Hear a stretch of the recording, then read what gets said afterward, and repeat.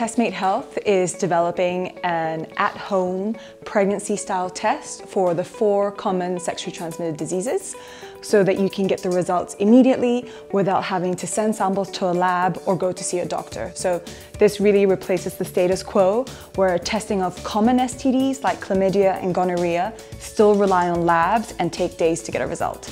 For an early stage startup, just getting started, sometimes it can be a bit difficult to invest uh, upfront in the necessary specialized equipment. And what's great about StartLabs is that it really allows us to grow with them. And by having access to a lab bench, we also have access to their level two uh, microbiology lab, which is really key for us when uh, looking at the pathogens that we're looking at, such as chlamydia and gonorrhea. So we decided to found the company in Western Switzerland, firstly because we're a spin-off of the University of Geneva, and we have a strong collaboration with the University Hospital Geneva, who are our preclinical validation partners, but also because of the vibrant life sciences ecosystem that is, that is here. And we first came here because of an accelerator program called MassChallenge, where we were introduced to this ecosystem here and we decided that we wanted to stay.